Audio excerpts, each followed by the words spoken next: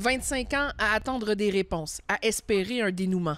Encore aujourd'hui, Dolores Soucy ne sait pas qui est responsable du meurtre de sa fille Jolène. Ça nous donne un coup de pouce de revivre à savoir que Jolène, non, elle ne sera pas oubliée. Vendredi, les parents, des proches et des amis de Jolène Riendo se sont réunis en sa mémoire. Jolène! C'était le 12 avril 1999. La jeune Jolène Riendo, 10 ans, quitte sa résidence de Pointe-Saint-Charles et se rend au dépanneur où elle sera vue pour la dernière fois. Sa disparition est signalée dans les heures qui suivent. Vous savez, moi, la dernière fois, j'ai vu ma fille. Elle dormait paisiblement dans son lit à 4 heures du matin. Je suis partie travailler et j'ai jamais revu ma fille. C'est dur.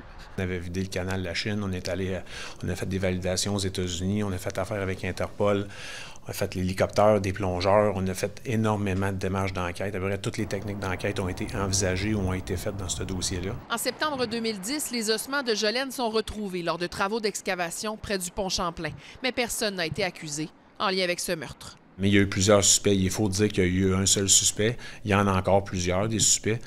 Euh, puis on continue justement à, à, travailler chacun de ces individus-là. Au fil des années, ce sont plus de 1600 informations qui ont été transmises aux policiers dans ce dossier. Le SPVM nous précise que des vérifications sont d'ailleurs toujours en cours suivant des informations reçues au cours des derniers mois.